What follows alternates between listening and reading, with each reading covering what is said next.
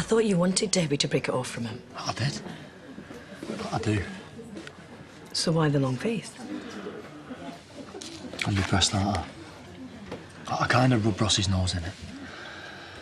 What did I say about not giving him the satisfaction?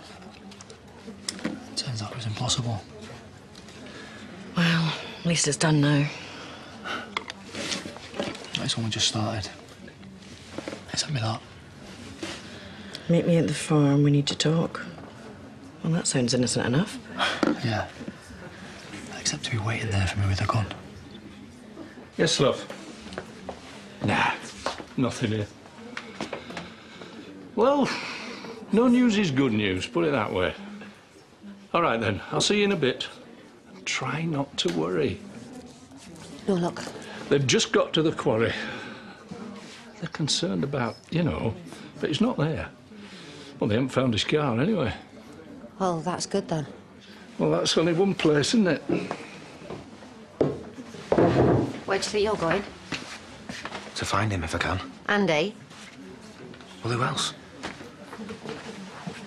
Well, if Debbie hadn't turned up, I wouldn't be here. Maybe he only wanted to scare you. I read my own suicide note. Why didn't you say anything? It's not like I didn't have it coming.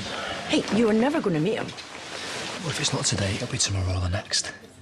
I'll have to see him at some point. You are not moving from that spot. You'll have another drink and let him calm down. I don't see that happening. Well, we can wait.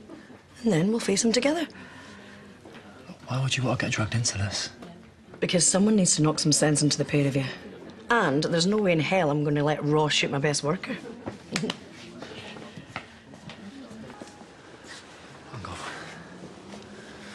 What if it kicks off? You just get out of here. I mean it. Ross? Ross? Just wait here.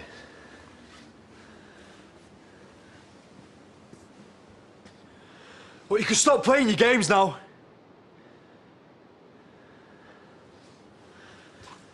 He must be outside. Or he got sick of waiting. You think he's done one? Well, maybe he got cold feet. As soon as I see Cain, I'll get him down there. Thanks for letting me know. Bye. Something up? It is for Robert. Debbie said someone tried to kill him. Place is crawling with police. Do they know who did it? I'm not exactly sure of suspects. And mystery solved. She said that Ross called by. Apparently, he packed his bags and left.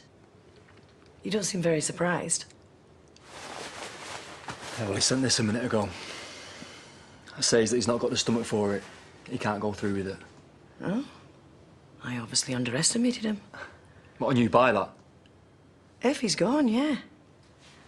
Come on, this way you can get on with your life. It's over. Listen. Thanks. For being your human shield.